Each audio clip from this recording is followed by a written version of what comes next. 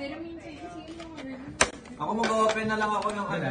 Wala daw yung open yung mag ano mo.